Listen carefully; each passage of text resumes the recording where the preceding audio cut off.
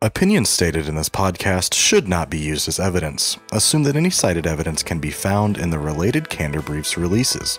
Thank you, and welcome to Former Partners.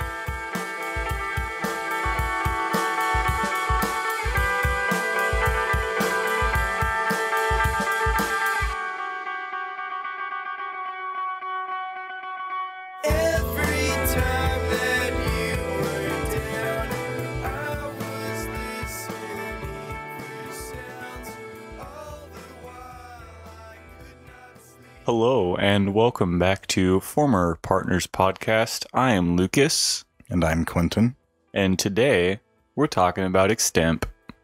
talking about extemp, baby. We're talking about you and me. I've been thinking about that since we started looking at this outline. That's unfortunate. You didn't like that? Not at all. I I enjoyed it actually. Well, I'm glad you're enjoying yourself. Yeah, today we're talking about Extemp. We actually have some cool features on the show today, because we have some quotations from the 2017 National Speech and De- Debate Association Extemp champion, the international Extemp champion, Connor Yep. Rothschild. Connor Rothschild. He's not here. He's going to be on a future episode. Um, But we're we're good friends with him, or Yeah. Quentin is. I'm I'm an associate. yeah, I, I talk to him when I can. We're both pretty busy, but he was able to answer some questions for us about how to succeed at Extemp. So we wrote them down, and hopefully can pass along the the wise words of the national champion to you guys. Yeah, so we're just going to be going down this like we did in our intro to public forum episode. We're going to try to break down the different parts of Extemp basically into categories. And we're going to have Connor's feedback and then we're going to have our take on it and we're Yep. going to do that for the whole thing. Yep, we're going to be looking at strategy start to finish from leading up to the tournament to right down to giving the actual speech. So hopefully, hopefully we can give some good insight. Lucas and I both did extemp through high school um, at tournaments when I I only did it when a radio wasn't available because I was a radio guy. I did it because apparently you can't just enter debate events. So Yeah, our coach wouldn't let us just do a debate. so when love you, radio, Brian, if you're listening. Hope you are. He probably isn't. It probably isn't. He's got too much. He's way too busy. he has three kids. He's two kids. Two kids? Wow. I thought he had three. Wow. Didn't he have the third like right when we left? No, he He had had the, the second. second right when we left. You're right. Who has three kids that I'm thinking of? Well, I mean, I'm sort of his third kid. Aren't we all? Yeah, he's actually got like 80 kids. Yeah, you're right. Enough, enough carousing the past and bringing up enemies and bringing up memories. Let's talk about extemp. Let's Uh, talk the about- first thing we need to talk about I can't stop. It's preparation leading up to the tournament. There's a couple good places to start, but obviously the first place you, you're gonna have to start is with research. Uh, an extemporaneous speech is generally seven minutes long. It is almost always all from memory. At least it is on our circuit. It might be different There's in different actually- places. I read, I think in Texas, they allow you to use a note card. Really, That's interesting to me. that sounds like easy mode. Yeah. I had to remember stuff that I didn't even know in the first place. a good start. I mean, what what I did was I I downloaded news apps. CNN. It would send me updates if anything big happened. You know. Mm-hmm. Did you do that? No. You just knew. Yeah. Yeah. No, I just uh I did a lot of reading in Oh. my own right, I guess. I didn't really go to primary news sources. I would kind of just get sucked into like Wikipedia holes Yeah. and just over time after 2 or 3 or 4 years in the program, I had a pretty solid basis on a handful of international issues that you can tie back to most questions, Yeah. which is a sca- it's like a scattershot approach. Yeah. But you know, it's important to note that right there you said after a few years in the program you had that. Yeah. starting out, it is a really good idea to, you know, actually make an effort to learn about what's going on oh, in Oh, for sure. events. Especially if you're doing international extemp, excuse me, rather than domestic extemp, Yeah, because there's just, I mean, there's over 200 countries in the world. yeah, and There's a lot going on. if you know if something's going on domestically, you're probably going to hear about it. People talk about it. But you're not going to hear nearly as much about what's going on in other countries. Well, yeah, I, I remember specifically there was a, a several month recurring topic of the Chinese snake freedom fighters, I think is what it was, in northern China helping North Koreans across the border, kind of like an underground railroad situation. And it was a common, you know, every third question you pulled Yeah. was that international extemp, but it was never once brought up on national Yeah. news in the United States because Right. it didn't matter to us. Right. Uh, there would be no no realistic reason for that to matter to you in your day-to-day life. I think this is a good time again to bring up the distinction between news and news media. Yeah, very true. Because when you're doing this research, most of what you're going to pick through is going to be news media. It's going to be stuff that's going to be tinged with a little bit of opinion, a little bit of bias to try and make it sound better to, you know, one of our two major curtailed demographics that we have, demographics, excuse me, that we have going on right now, Yeah. which is yeah, the right and the left. And most media is poisoned one way or the other to try and appeal to that group of people. And one thing that's going to be good at um, trying to filter that out is the recency mobile app when it comes out.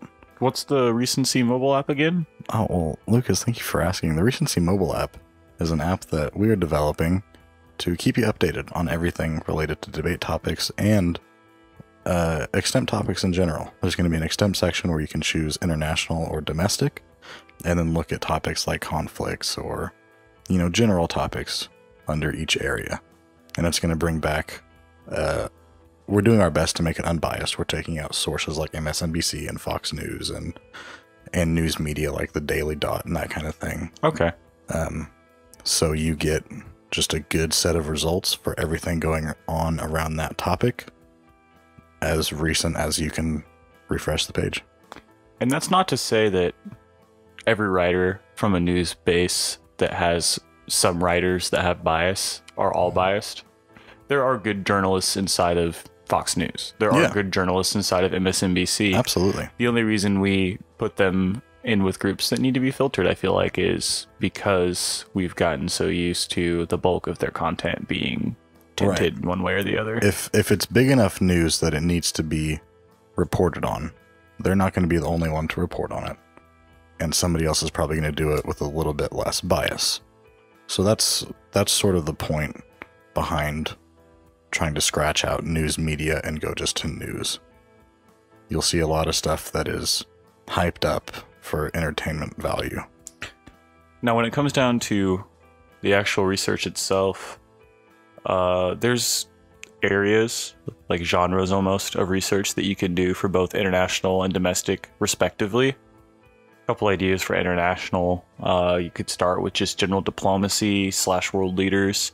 So try to figure out which countries are on each other's good sides, which ones are on each other's bad sides. You know who leads different countries, because you never know when you're going to get a question about the president of Swaziland, and you may not even know who that is, and you may not have an article that mentions their name, and you're not allowed to use the internet, so you have to go give a whole speech on the president of Swaziland, not even knowing what that person's name is, Exactly. and that's that's brutal. You don't want to be caught in that situation. Yep. So brushing up on who leads what, who's important where, who likes who, who doesn't like who, that's a really good place to start with international. I think that trade is important because two countries can really not like each other. They can have bad diplomacy and still trade effectively, right. Yep. i.e., the United States and China Yeah, I was going to say that. have a major disagreement constantly with our ideals and how we agree that our cover- governments should be functioning, and yet we still trade with them as our largest trade partner every Yeah. year because we're able to come to trade agreements and we have Yeah. departments that do that. So yeah, see who's trading with who, what they're trading about, why they're trading. How trade is going. Yeah, if it's good, if it's bad, if there's a tariff, if there's the, not. the entire global market, really. yeah. Um, global economy is huge. look at your conflicts. So, going back to that diplomacy a little bit, if two countries don't like each other, are they at war right now? Or are, Are- they just mad? Are they skirmishing on the borders and it's leading up to war? Are they just mad and they're tariffing and sanctioning the crap out of each other? Right. Or is there, you know, is Saudi Arabia fighting Houthis in Yemen? You know, is there an actual conflict and war happening? Um, also, things like human rights in other countries. For sure. Again, talking about Saudi Arabia, Saudi Arabia committing human rights violations against Yemen civilians and Saudi Arabia's own citizens. You know, That's important for you to know about if you're going to be potentially be potentially talking about Saudi Arabia, because you might get a question that's like, "Is Saudi Arabia fit to lead the United Nations Council on Human Rights?" Right. And if you don't know about all their abuses because you don't have that information, you might go in there and be like, "Yeah," and then the judge will be like, "No." yeah. They they, they stone people still in the streets and they See, spray their citizens with sarin gas. it's so important to know backgrounds of countries because there's evidence for everything. Do you remember? Let's not say the name. Are you talking about Canada right now? Yes. Oh no, man. Do you remember what was that sophomore year? Yeah. A certain teammate Whom will not be named. went into, uh, I think it was domestic extemp. It was a domestic extemp round. She got the question, "Who is the biggest threat to the United States?" And she said Canada. Because a couple veteran members of the team that were upperclassmen at this point convinced her that Canada was the largest nuclear threat to the United States right now. She had some evidence behind it, talking about Canada alone, not Canada's relationship with the U.S. She had no concept of, you know, the background relationship there, and that's the important thing is learning background. yeah, if she had understood that Canada and the United States have been allies for over a hundred years already, then she wouldn't have gone in there and given that speech. But because she didn't have her basic research background that you need, she got the wool pulled over her eyes and she looked like a fool in the debate round, in a extemp round. And not her Love her to death. She just didn't know. Yeah, She was a good debater. She she was just young and hadn't hadn't done enough research behind it. yeah, for sure had a uh, had a bad time. Yeah. Another important thing is European politics. Oh my god, yeah, I hate Europe. I don't actually hate Europe. If you're from Europe and you're listening to this, I love you because you're listening to our podcast. When I say I hate Europe, what I actually mean is I dislike the complexities of the European geopolitical system because there are many. Yeah. There's a lot of them. yeah, for sure. Because, like Brexit, we were talking about this before we started the recording today. When Brexit came up, it wasn't just questions about should Brexit happen. It was how does Greece feel about Brexit? How does The effects of Brexit on literally every yeah? How does France feel about. Brexit? How does Great Eng- Great Year or whatever it is, Great Britain? There we go. Yeah. Feel about Brexit. There was Yeah. a solid like month and a half or two months where probably 40% of international extemp questions were about Brexit. And it just got annoying. But if you knew about Brexit, and you knew European politics. you had every speech down at least for that period of time. So yeah, they're the the best way to prep you for international extemp is to tell you to learn everything. Yeah. Like know everything about every country in the world that's going on in hopes that when you draw your question, you might have an inkling of what's going on in the context of it. Otherwise, you're going to be up a creek without a paddle often. Now, when you're actually gathering that research to put into your extemp file, I recommend cutting whole whole articles, just straight up the whole text of the entire article, Yep. going back through and just highlighting the important paragraphs that stick out to you. Yeah. Just like you would a piece of evidence for a debate type, just do it extemp style. It's a very useful tool. If you do that with three or four articles a day for each week, and you try to diversify your genres between you know diplomatic situations trade situations war situations Right. specifically european politics speci- uh, specifically asian politics by the end of a month or so you're going to have a pretty solid file let alone by the end of the year And a, a great tool to use that I loved was there's a, a Google Chrome extension called TLDR. oh yes Yeah. Um, TLDR would just, you would click it and it would scan through the article and it would give you about a paragraph explanation of the important parts of the article. it would also if it was a very photo heavy article it would pull just the text from the Yeah. entire version so that way you could copy and paste it really clean Yep, it was awesome. So if you use Chrome, download TLDR. Give it a shot for debate stuff. You might like it. It's it, it was very helpful. Now switching over to DX, domestic extemp or US extemp, some important things to know are obviously United States politics, Mm-hmm. Congress, uh, president, you know, all the different branches, what's happening there. Um, for example, the State of the Union. I'm sure that this weekend, if there's a tournament, there's going to be quite a few questions about the State of the Union. Would you agree? Yeah, they're going to be. How did President Trump's State of the Union address go? Did President Trump affect or reach the target demographic he was looking for with his State of the Union address? Right. What impact did his State of the Union address have? Yeah, will his address cause any change in the United States? All sorts of stuff. Yep. And it's a way to prep for that was just to watch it, really. Yeah, and that's uh that's where more preparation leading up to the tournament comes from. If you know there's going to be some big four-hour Politico ordeal that you can watch, it sucks, but watch it. Yeah. You'll learn more in that four hours than you will from reading through 12 hours of news, news articles about it. Yeah. Another important thing is economics. Obviously, you, you want to know is there a recession coming? How is our debt doing? Uh, what what does the just the entire economic picture look like for the United States? There are so many questions about economics every all the time because it's such a you know it's important and it's it's a good question to have in extemp. Well, it's like half our policy that we make Right. domestically is Yeah. economically based. or yeah, at least for the purpose of it. Uh, you're also going to want to know stuff about celebrities in the United States because unfortunately, we think that how people like Johnny Depp and Oprah spend their Sunday afternoon is an importance to Yeah, extemp and that, and that may have just been our circuit, but I remember so many like Ray Rice yeah, questions. no, for real. Whenever somebody who has a lot of money in the United States does something wrong or becomes just the subject of public opinion for some reason, it becomes an extemp question domestically. Um, I, it's not my place to say whether it should or shouldn't happen, but it will happen. Yeah. So you should be ready for it. Yeah.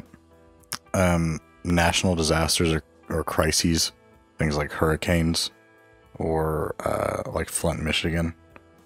I remember when Flint, Michigan happened, Well, yeah, there was a there was a hurricane in Florida not that long ago, right? Yeah. Yeah. and since that is those are both domestic issues, you need to know at least the background to these. Yeah, because you get, I mean, right after those events happened, you were getting questions like, should President Trump allocate FEMA funds to Florida to aid with hurricane relief? Right. And now you're going to be getting stuff like, did the allocation of FEMA funds by President Trump actually Yeah. aid Florida hurricane relief? Exactly. Or should President Trump have allocated FEMA funds to aid Florida hurricane ETH because hurricane relief because it's after the fact now? yeah. but that stuff's just going to keep popping up. And it was something really quick I wanted to do. Yeah. Um, because I was talking about keeping your extemp file, you know, doing three or four articles a day throughout the year, and by the end of the year you'll have a big file. That's not all useless when the next year rolls around, right. because unless something new on that exact same topic comes out and sets the precedent for recency, you know, that there's new information about something, you have the most recent information about that topic at that Yeah. point. Exactly. So you can roll your extemp files over year to year, and that's why this research really isn't as daunting as it seems. That Yeah. by the end of one year, you know, you're going to cover all your major topic areas. You're going to have a good foundation. By the end of two years, you're going to have a substantial amount of bulk. By the end of your four-year high school career, you're going to have such a large extemp files that you could probably start a career in international politics. Yeah. And you know, some people use um some people use services that send out extemp files. And if you do, that's okay. Um, but it's still important, all of these things, it's still important to have a good basis of background knowledge for all of these.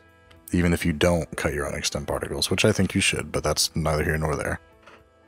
You should at least have some knowledge over these topics before you read the articles. If you've got any great resources that you use for Extemp and you feel like sharing them, put them in the comments down below and upvote the one that you like the best if you see another one on there that you like or that you also use. Yeet. Big yeet. I would like to see our most upvoted comment on this video be the top resource that everybody kind of voted on because that would be cool. I like your outreach, Lucas. I just think it's important to keep our audience involved, regardless of if it's 50 people or a thousand people or a million people. I just feel bad. We do this every time, and I can't help but think about the people that are just like listening on the podcast app on their phone, and they're like, I can't comment or anything. Yeah. If you're listening on one of the applications where you can't give feedback, shoot us an email at Uh, former partners at gmail.com. at formerpartners at gmail.com and Oh. we'll do our best to address any feedback you give us on the show if it's relevant or if you want us to. If you just want to give us a shout out, that's fine too. We love all the love. You pointed at me, and I was looking at the screen, and I didn't see you pointing at me, so I was like, uh, what? Oh, I always have Quentin do the social media information because he actually manages the accounts and I don't want to mess up the tag by not including the the 69 or the 420 that's in there with Yeah. it. So right. So the next question would be whenever you're double entered, because a lot of people double enter extemp and uh, some sort of interpretation event. mhm. Is it better to be first or last? Because a lot of times, Do you mean by that is it better to do extemp first or last uh, rather than your other event, or is it better to be first speaker or last speaker? first speaker or last speaker? You don't have room? any control over that. Some, yeah, you do. No, you don't get to decide if you're the first extemp speaker. Those schedules are predetermined before tournaments even come out usually. No, you can. No, you can go in into draw and say, "Hey, I'm double entered. Can you move me up?" And they will. Oh, yeah, I guess some tournaments do do that. yeah.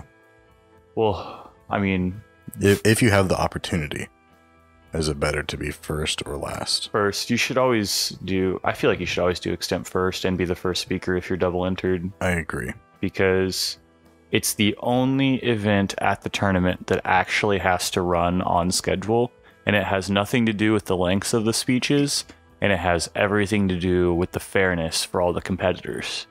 If you're Yeah. the if you decide to go last in your room and you're double entered in your HI room, you're also like third or fourth, you know? And then you get there and it's 7 minutes past when your speech is supposed to start. They shouldn't let you go.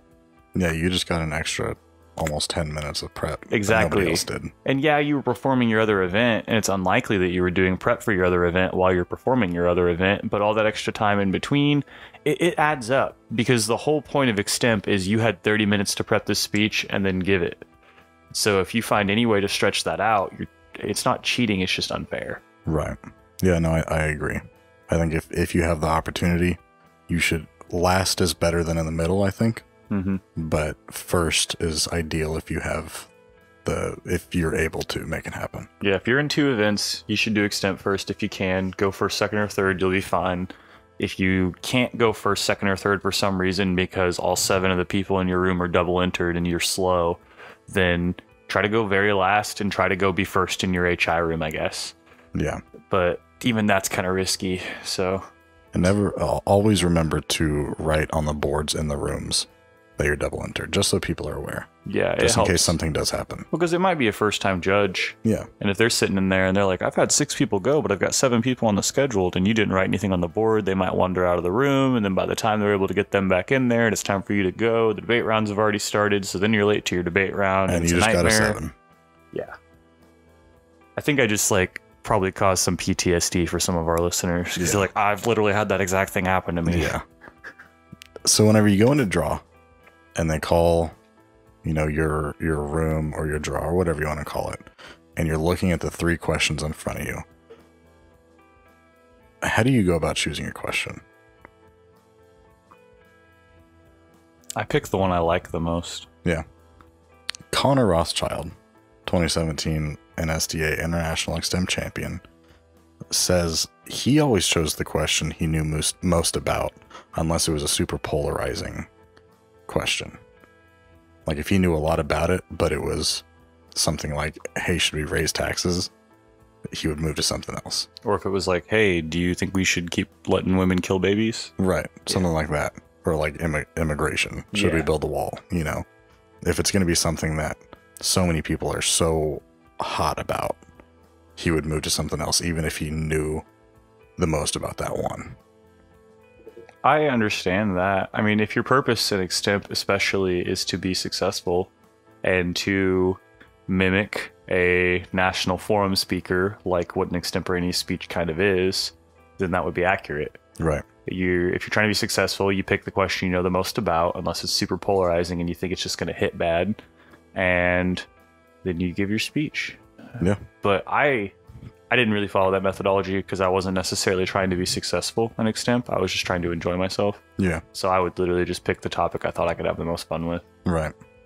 And by have the most fun with it, I don't mean give the most ridiculous speech. I mean give maybe the most unique solution to a problem or an interesting speech, maybe Yeah. about something that nobody's ever really thought about or heard about.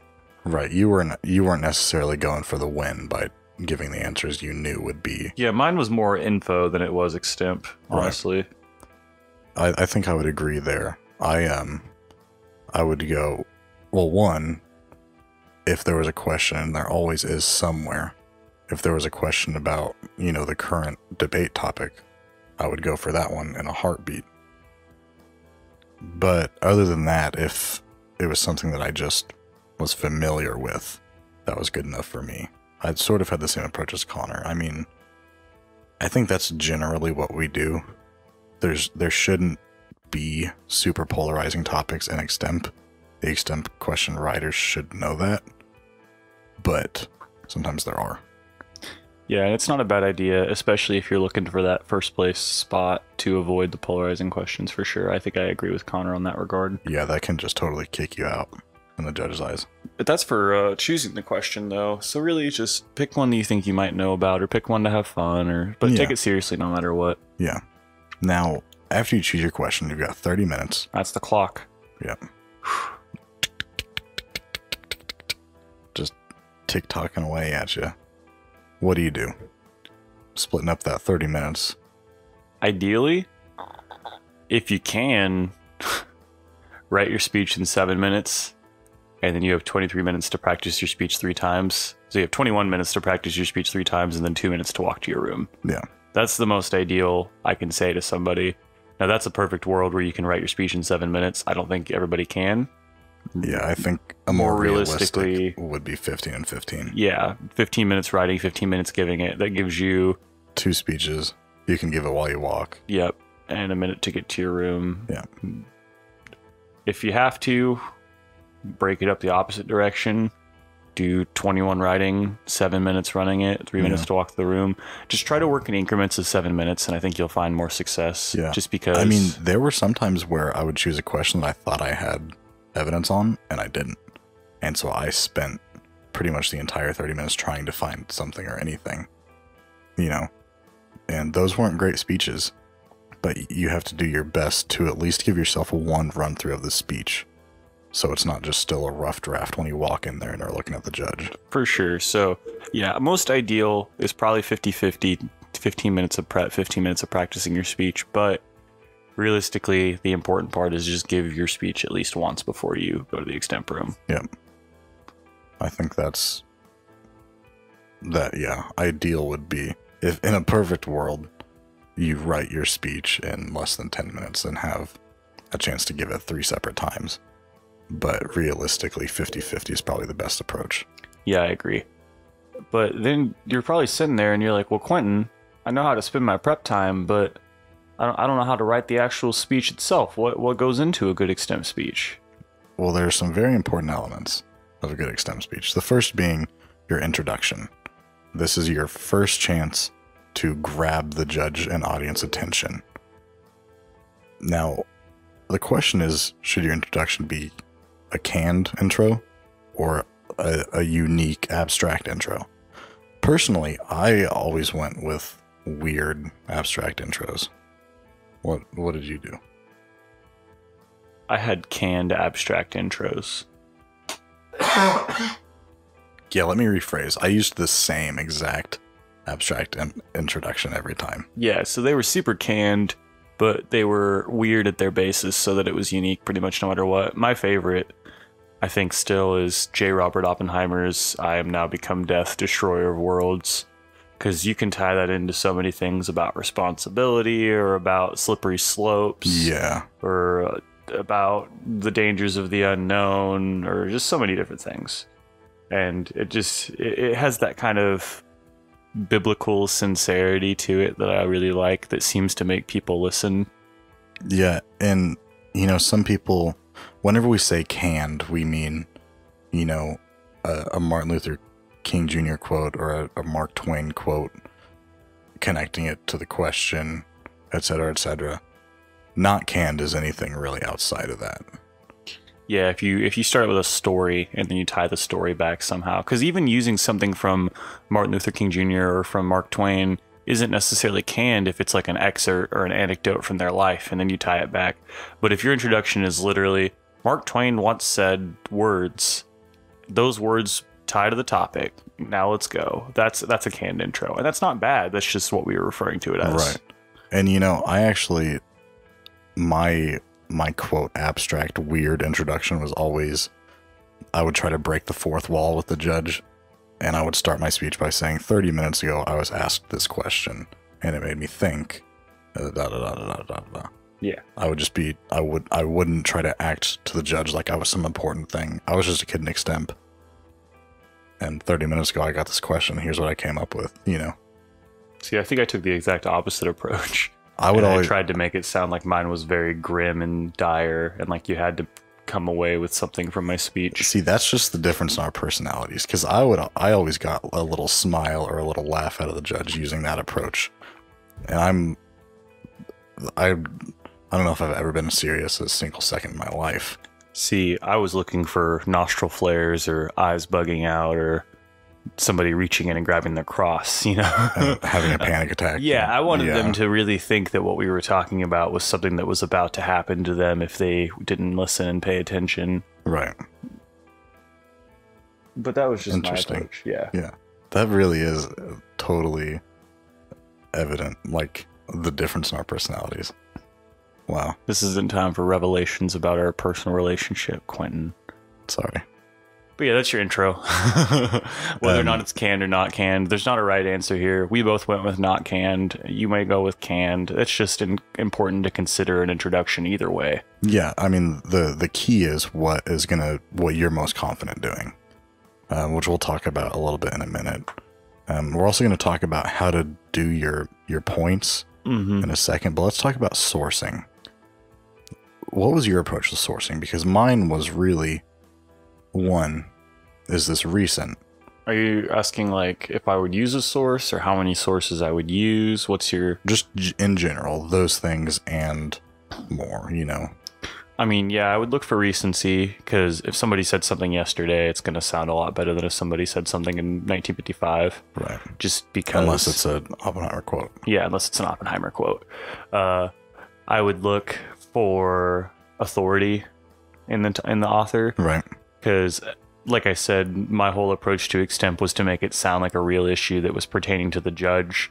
So if my source was the, the uh, I'm trying to think of the word Secretary of Defense, then that's a pretty good source. Yeah. that provides some dire you know, context to the situation from an Right. actual government offic- official. Yeah.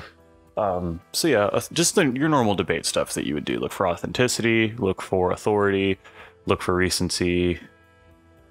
Yeah, I mean the the the more important the figure and the more recent the evidence, the better.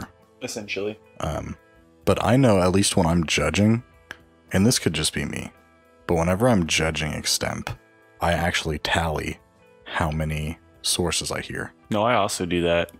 Uh, in theory, you should be reading a new piece of evidence during an extemp speech about every 90 seconds. Yeah, at least within your points. You don't need evidence in your introduction or anything. like. Exactly. And e- although you can use evidence as an introduction, that's another thing I've seen people to do is they say, you know, Time magazine and an article about blah blah blah last Mhm. week said this, and Yeah, that's what's going to lead us to our yeah. question today, which is Right. blank. But yeah, I will totally. Things I'll take into account when I'm judging are one time, two sourcing. Um, so I'll look at how many points they had and how many sources they had. And if there's less than like two sources per point, you know, that's sort of a, a take off the off the overall points for me. Uh, I mean, realistically, I think because it's a seven-minute speech, you should be clearing your intro within thirty to forty-five seconds. Right. So that means you've got like five minutes to do your points. Five and a half. Yeah, with know. about a minute outro. if we're doing 90 seconds for every single piece of evidence within that, realistically, You're looking at about one source per point if you have three points. Well, you could be doing two. You could be doing two good sources per point. They'd be faster than 90 seconds, though. Yeah, well, it's it's like 60 to 90 seconds. Yeah. This is just numbers that my coach gave me too. This isn't Yeah. like the standard. You have to do it this way or you're bad. This is just what I've been taught to be an ideal extemp speech. Yeah. Yeah, I um I mean it's you know, I don't vote people down if they don't have enough sources. It's just sources are a big thing for me when I judge. Oh well, they're important in extemp because otherwise it's just the uh, flippant words of a high school student. Yeah, I mean if if I like the speech and you're making sense and you seem confident, um, I'm not going to be as hard on you for not having so many sources. And on the other side of that, if you're not an amazing speaker, And you're taking a controversial viewpoint. but you have good sourcing and it's consistent, um, you know, you're going to be, you're not going to be as low down in my book as you would be. Does that make sense? Yeah, for sure. Um, but with sourcing, just make sure you're getting them out there. It's really important to get your sources out because, especially at higher levels of extemp, when you're at districts, when you're at nationals, they're going to be counting your citations. They're going to Yeah. be, a lot of them are going to be looking it up as you say it, even right. Checking. uh, and making sure it's a real thing. Mhm. So give those clear and confident. You know, moving to my first point about blah blah blah. This comes from Jones, a writer for The Atlantic, in January fifteenth of 2018. yeah. Like, give the whole thing, and you'll be fine. Yeah. I wouldn't worry horribly about it. If it seems if it seems like a spot where you should throw in a piece of evidence, throw in a piece of evidence. Yeah. If you have it and you know it, then do it. You should, you, there's no reason not to. basically anytime you're making a claim that like a high school student would have trouble backing up with just their credibility alone, throw in a piece of evidence. Yep. And Connor Rothschild chimes in again here just about the speech overall, how to give a good extemp speech. He says the biggest component of doing well is charisma and confidence. You just have to make your judge think that you know what you're talking about and be familiar with the topic material. That requires a lot of work on the front and eh, front end outside of tournaments, doing a lot of reading and research in your free time, which leads back to that preparation for the tournament. Yeah. Yeah. but like we said, like he said, the biggest thing is charisma and confidence. If you don't seem like you believe what you're saying, then nobody else is going to either. Just like our poor unfortunate classmate who got tricked into talking about Canada being a nuclear threat to the United States. Yep. If she'd gotten there and she'd given that speech confidently and acted like she knew what she was talking about and even read some more evidence, she might have been able to win the room still. Yeah. Even with a totally unfounded viewpoint. But she seemed unsure on an unsure viewpoint and it just ruined it. Yeah. It it was really not a good time. So let's talk a little bit about speech structure. Speech structure. Yeah. Wait, how- you're telling me I know the intro and I know that I need to have points and I know that I need to include citations. What else is there? there's a few different structures, a few different approaches to actually um, giving your speech. Connor says the most important part of speech structure is being cons- consistent with a clever theme throughout, um, then following the basic structure of a good attention getting device, three main points, conclusion, etc. So Connor went the straight and narrow route that pretty much everybody goes down. A good theme, um, a good introduction, three main supporting points and conclusion. That's the default. It works. It's tried and true.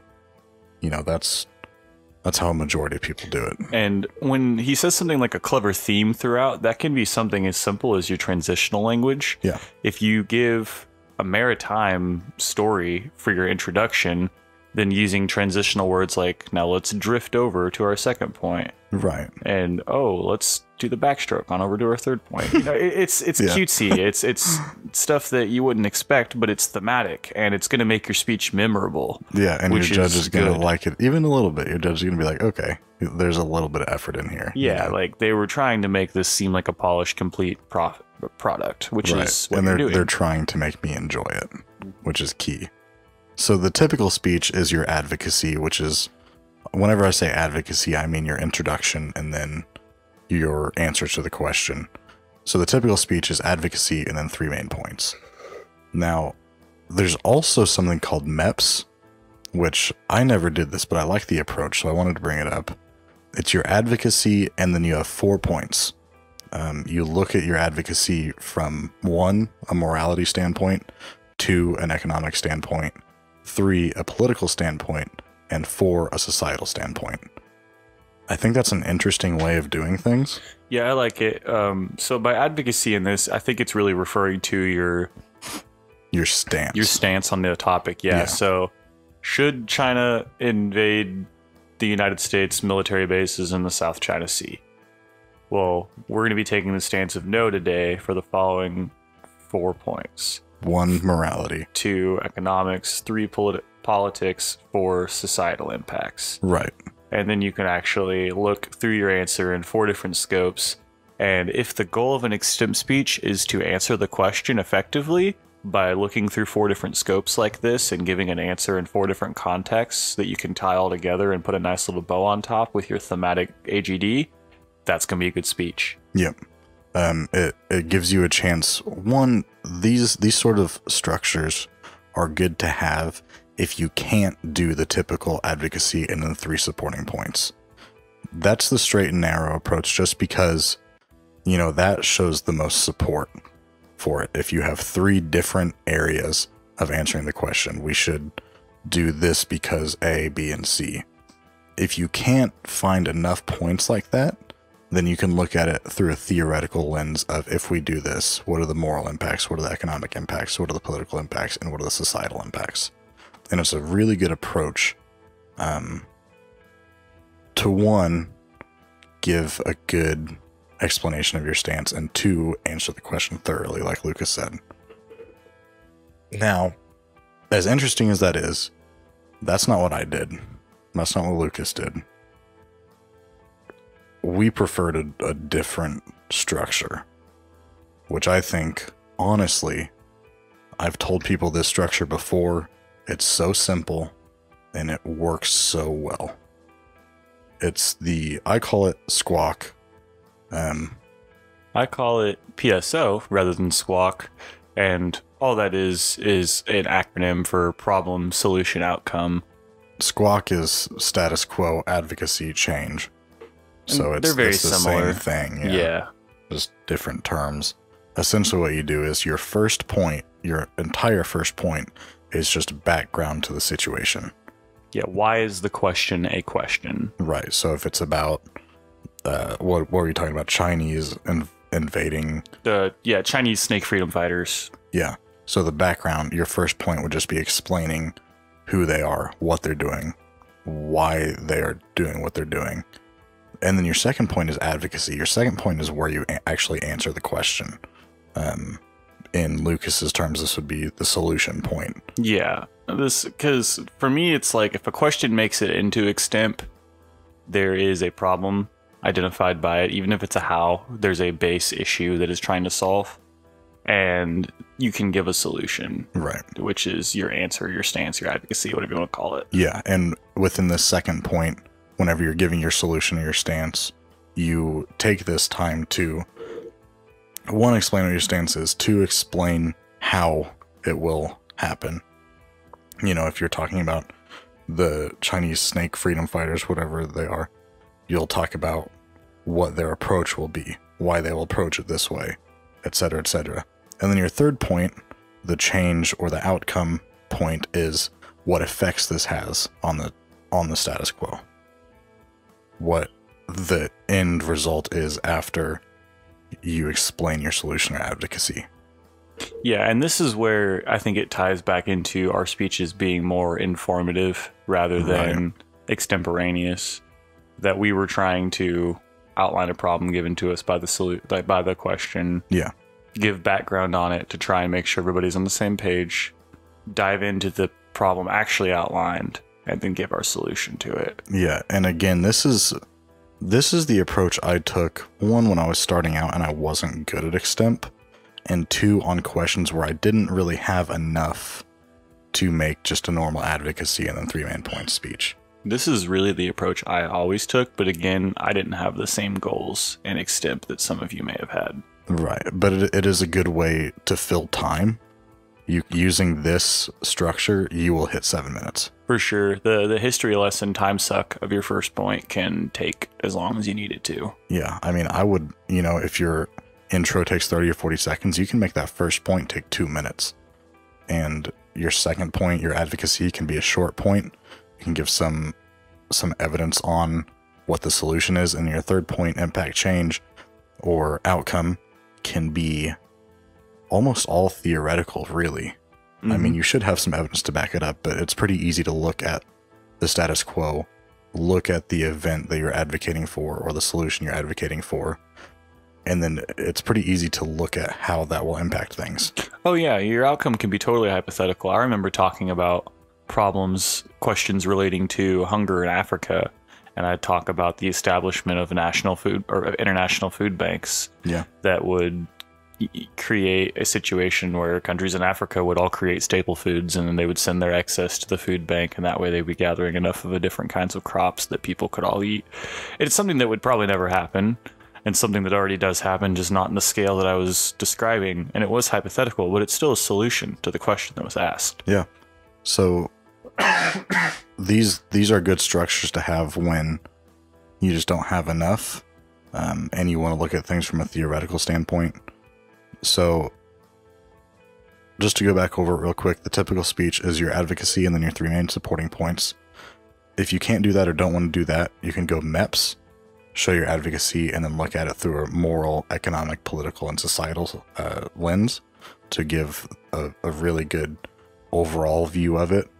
Or the way Lucas and I prefer is squawk or PSO, the status quo or the um, problem, and then move to your advocacy or your solution, and then look at how that change or outcome happens. And I personally, I obviously prefer that one, but it's really, like Connor suggested, it's all about what makes you most confident, because that's going to be key is how believable and confident you are in your position. Confidence is key. Yeah, that goes for all debate, but especially extemp. That goes for all facets of life, Yeah, actually. You want to get that hot GF? Be confident. True facts. Talk talk confidently about the this Chinese snake fighters, and she will just. Whew, that's done. Definitely. Talking extemp, baby. Talking about you and me. I think that I'm gonna cringe when I listen back to this. this pretty well wraps it up. I'm done. Oh, are you? Yeah. Well, dang. Okay. You don't want to hear me sing about extemp anymore? Not even a little bit. Well, in that case, uh, this has been the Former Partners Podcast. I'm Quentin, I'm Lucas. and this has been the Extemp episode. Make sure to uh, watch out for the Canterbury's release. That'll be out next week. We will have an episode over the March topic about housing, and we will have a code for you to get $5 off. Um, we'll be talking more about the recency debate mobile app soon. Um, and we'll have some more stuff for you next week. So I hope you enjoyed this. Give us some feedback. And uh, other than that, thanks, enjoy, and good luck.